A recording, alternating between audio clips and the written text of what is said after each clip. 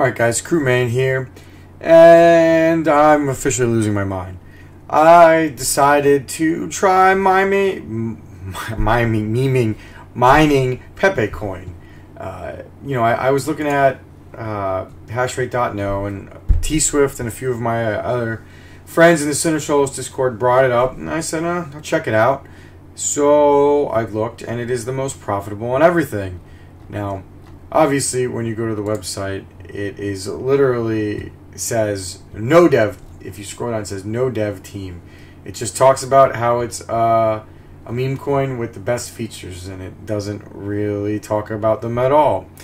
So you do the math. That being said, it, I mean, it's going up a lot. It's gone up 120, 177% in the last 24 hours.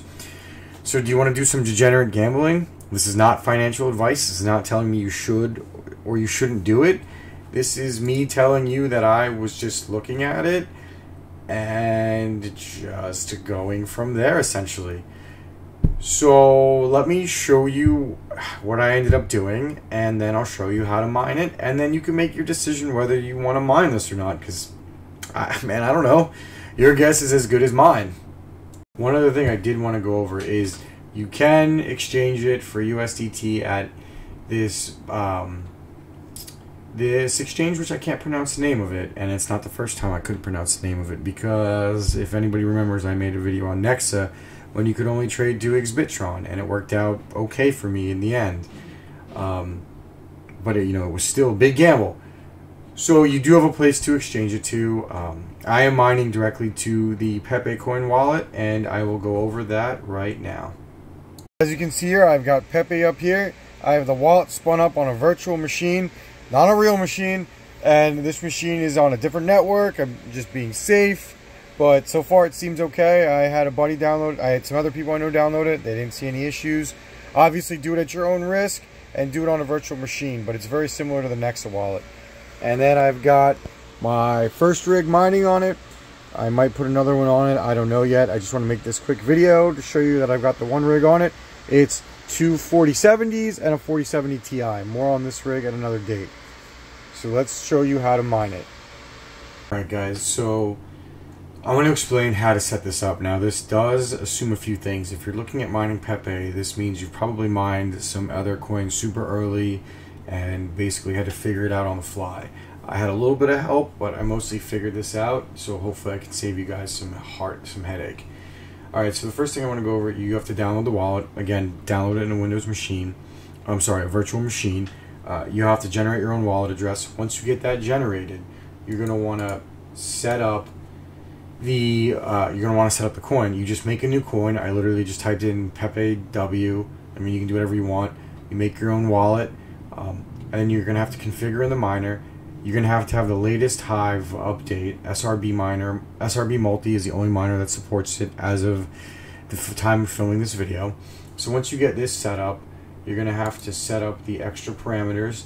Now, um, I used, I just went on hashrate.no and went for the most populous pool. So Mining4People is this what I used. You literally just type in the address right there. Um, and I also looked at hashrate.no.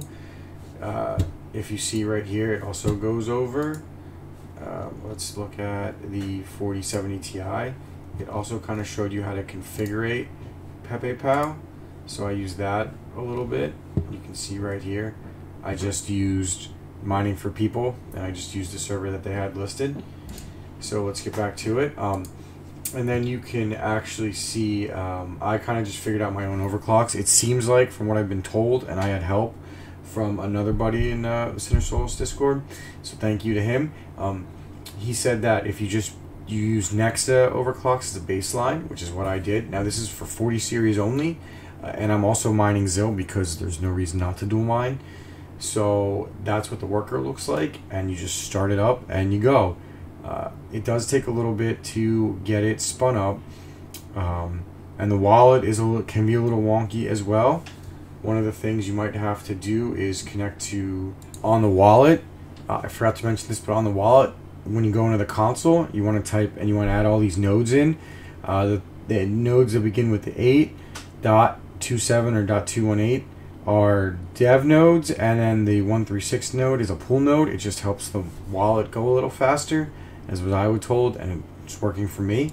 So yeah, once you get the flight sheet up, all you got to do is spin it up, and I mean, you just hit go and you start mining. I didn't have any issues using these settings. Again, I would base everything off Nexa overclocks.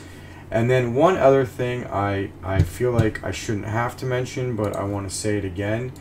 Guys, this is literally a meme coin. There's no dev team, there's nothing. Mine this at your own risk. Mine it, own, download everything, mine it at your own risk. Use this new exchange at your own risk. Do this at your own risk. If you feel comfortable, go ahead. I'm doing it and I'm showing you how to do it, but that doesn't mean you should do it. Thank you guys for watching. Please like and subscribe. Man, and thanks for joining me on this silly meme journey. Man out.